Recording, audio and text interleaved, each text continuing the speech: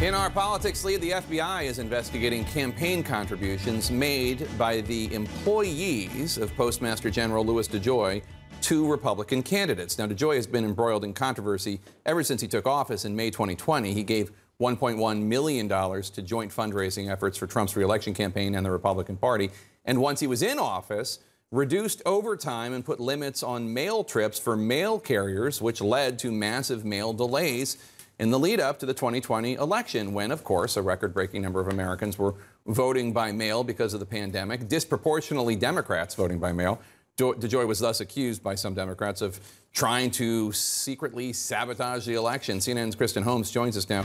Kristen, what do we know about these campaign contributions by his staffers, and, and how unusual is that?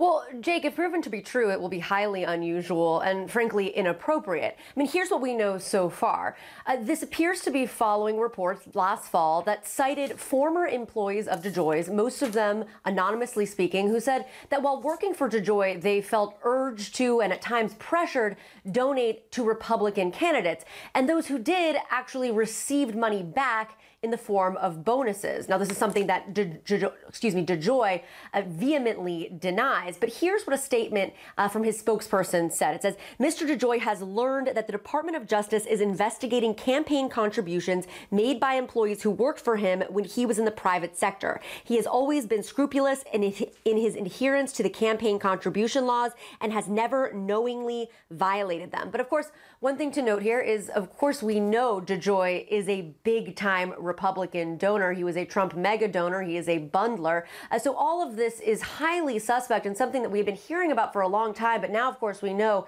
is under a formal investigation. Is there any chance here that DeJoy would lose his position as Postmaster General, which would be very difficult for him to be forced out? Yeah, that's always the big question, Jake. Of course, we know people have been calling for his ouster now uh, for roughly a year. Uh, the thing that's impo- important to note is that the only people who can remove DeJoy from office are the Board of Governors, that Postal Service Board of Governors. And for all of the allegations through the election, we have heard from the Board of Governors saying that they have full confidence in DeJoy. And right now, there's no indication that that has shifted. Now, President Biden has added more people to the Board of Governors. However, in order to actually oust DeJoy, they'd have to get some of those Trump appointed, Trump nominated members to sign up for that. And again, there's no indication of that. Now, the press secretary was asked whether or not Biden believed that DeJoy should be removed or replaced.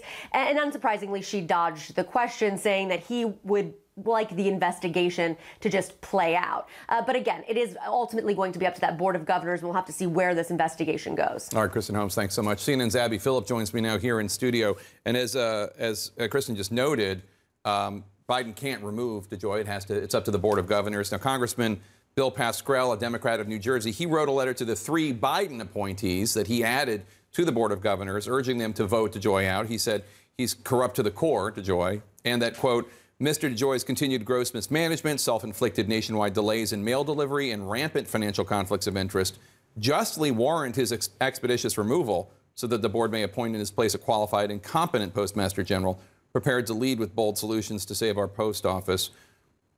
You know, that's a Democratic congressman's letter.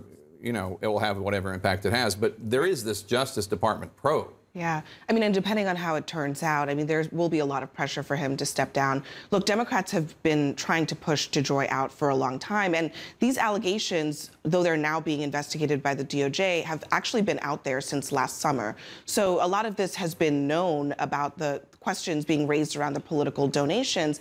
And I don't necessarily see this changing the dynamic. I mean, one of the one of the tenets of you know Trumpism, and if you believe Louis DeJoy is a is a sort of tr Trumper, I mean, he donated a million dollars to him, is that you don't back down, you don't step down, you don't give any quarter to these kinds of allegations. So I wouldn't expect him to do that. Uh, let's change the subject because I, I want to get your take on uh, Dana Bash's new reporting um, that former President Trump is, quote, more obsessed than ever with the 2020 election, unquote, and is only listening to, quote, the bottom of the bottom of the crazies in the barrel, unquote, according to a former Trump aide.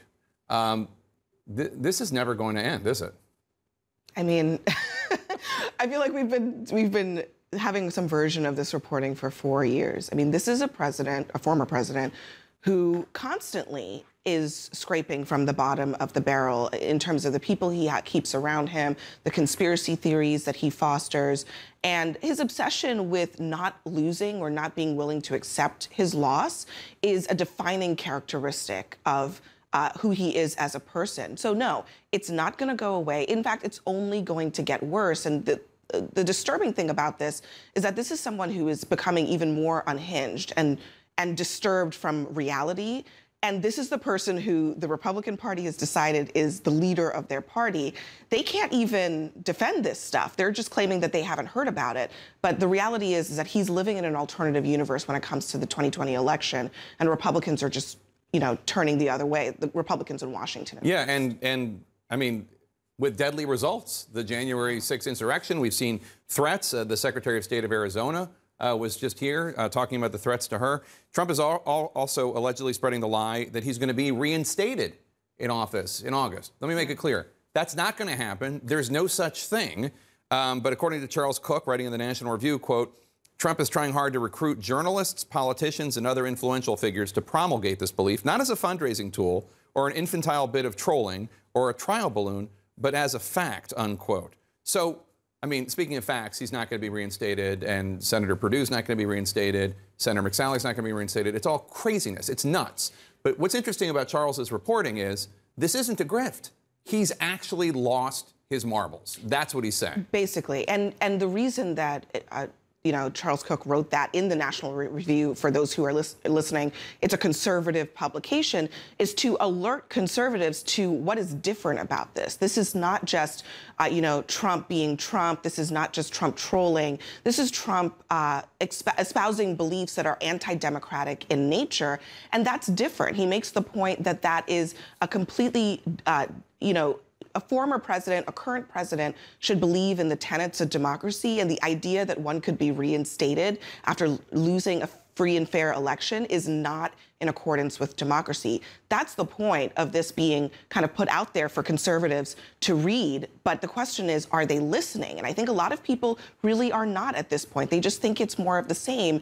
And this is different. He is disconnected from the reality of the situation here. Although we should note, Fox has let go of some people who pushed back on the lie, including the uh, one of their political directors yeah. and people at the decision desk. Uh, they are part of that conspiracy. They're buying into it and, and will, be yeah. will be responsible yeah. for the results. Absolutely. Abby Phillip, thanks so much. Good to see you again. Be sure to join Abby every Sunday morning for Inside Politics. It's at 8 a.m. A great show with a great anchor.